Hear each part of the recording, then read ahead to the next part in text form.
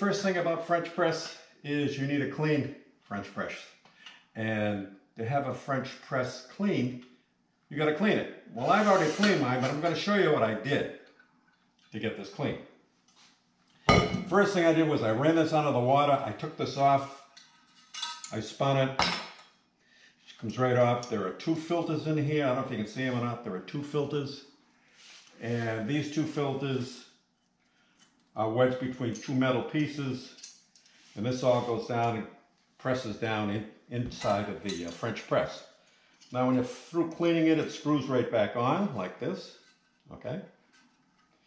And the other thing I do is, usually when I get to this point, there's still coffee grounds in here, and I take the coffee grounds, I take them out of here and I put them in this bowl for my wife, and can, she can use it as uh, mulch or anything like that in the garden. It works out, it's great for the garden. So I always give her these coffee grounds. She wants them. Okay.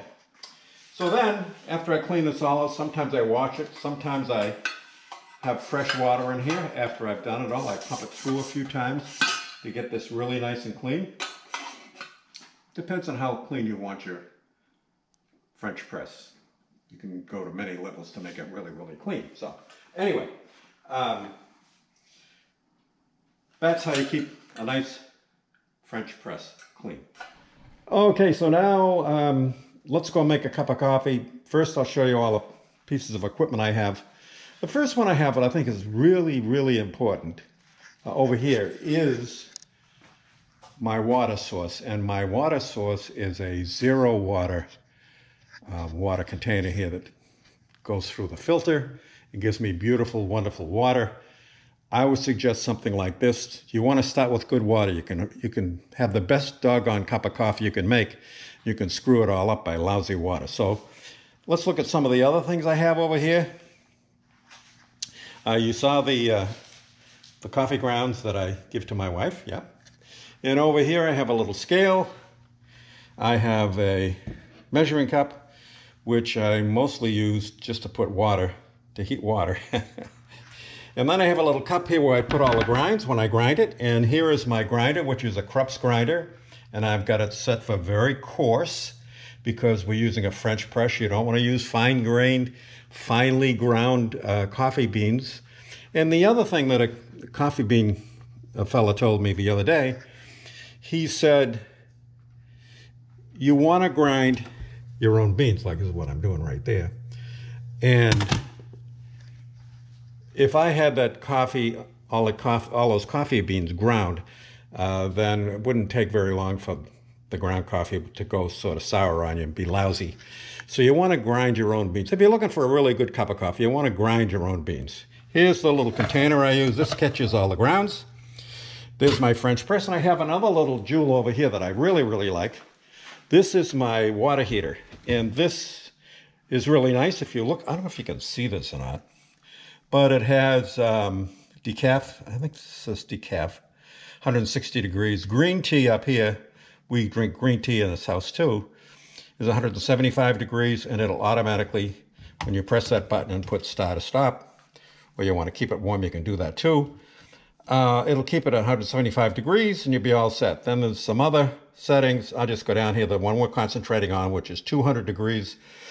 That's a French press. So French pressed coffee should be introduced um, at 200 degrees with the water you're using. So what I'm going to do is go over here and take my measuring cup, but I'm not going to measure anything. I'm going to take my measuring cup and get some water.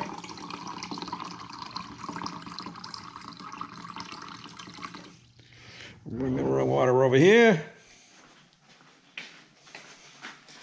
Put that in. I'm gonna need a little more. So let's get a little more.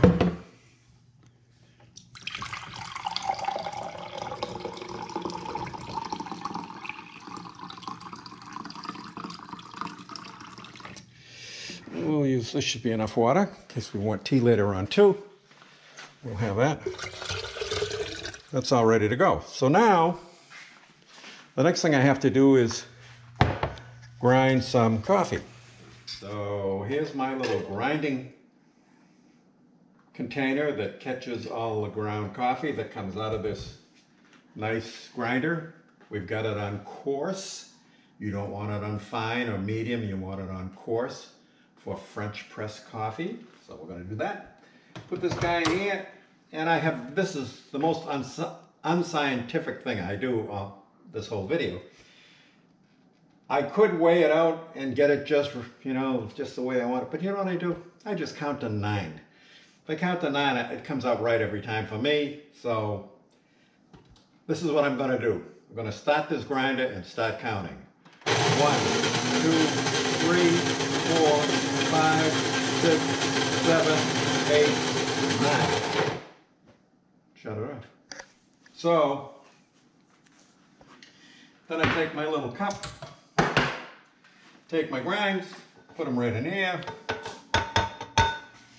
and look at those beauties. Is that done? Per just what you want to see, just, just like this. That's perfect. Perfect grinds for a great cup of coffee. And so now we have to go over here and heat some of our water. So let's, this is pretty cool. When I push this on, you want to come over and get a nice shot of this, honey. Um, we put it on 200, well, it's it says um, right here in the French press, 200 degrees. And I start and stop and I keep it uh, so that it stays, what do they call it? Keep keep warm. It keeps it warm. Notice it's got a blue color down here. And when the coffee, when the coffee, yeah, when the water's ready and the water's at 200 degrees, the light will go off. So let's go back over here.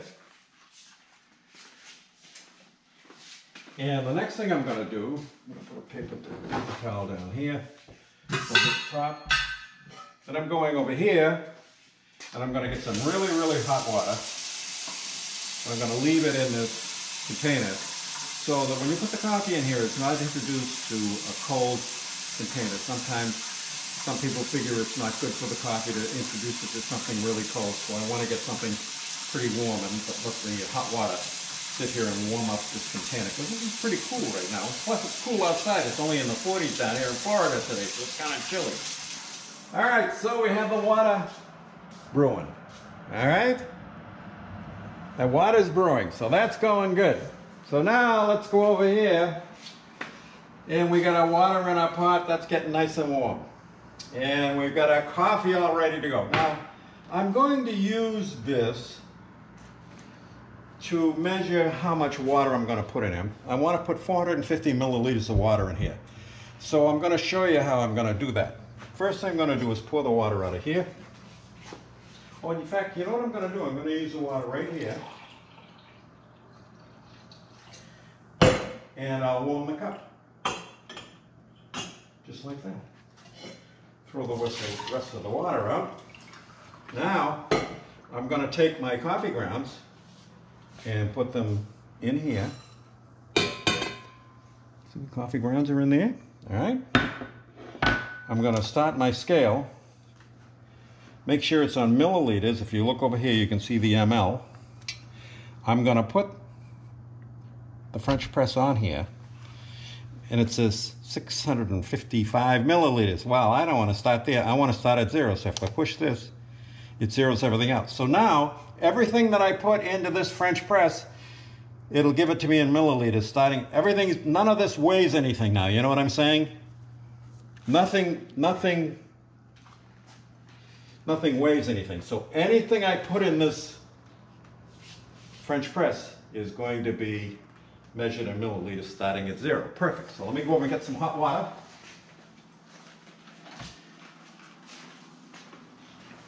I'm only going to fill this about half full, about 200 milliliters. So.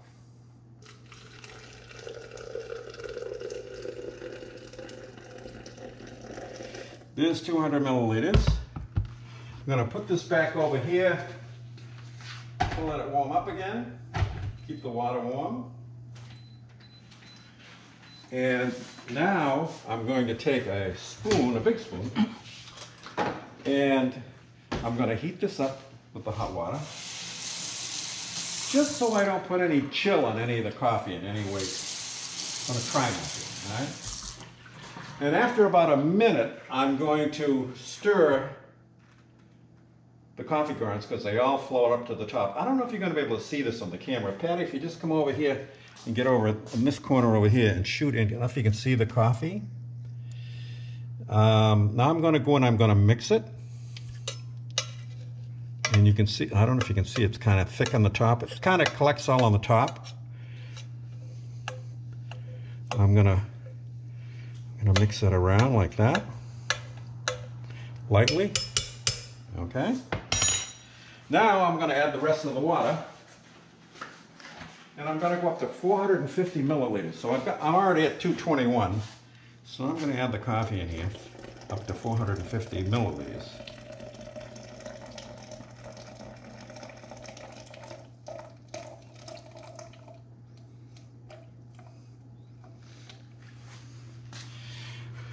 Well, there you go, 450.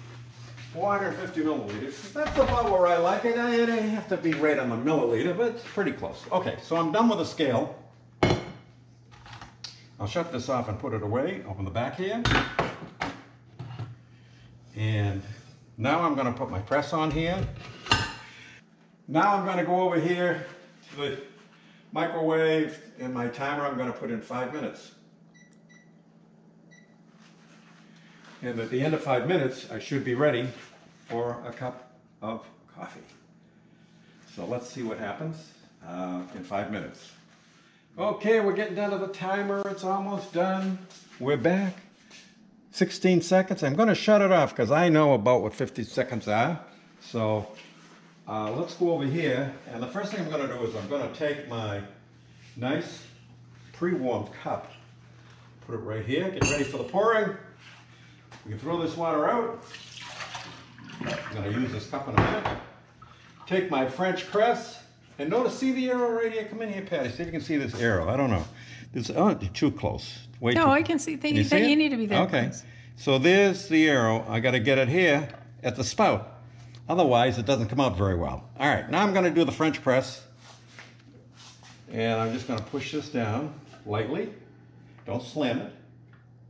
Some people say go all the way down. Some people say go all, leave a half an inch. Go all the way down. It's going to squeeze it fine. Now, here it is, the real test. See if you can get the pour, Patty. Can you get the pour? Beautiful color. Beautiful color. Look at that. I can smell it from here. All right, now I'm going to go over this way.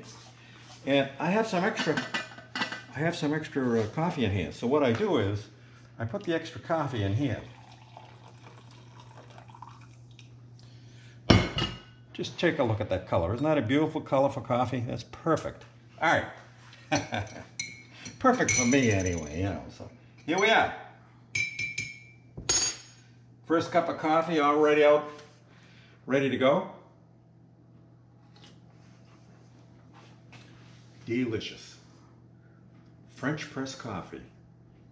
Hope you liked it. Hit the like button. Hit the subscribe button. Like really helps. Leave a comment. You'd like to see something else? We'll do something. Have you got an idea that you'd like to see on video? We'll give it a try. Thanks for watching. See you again soon.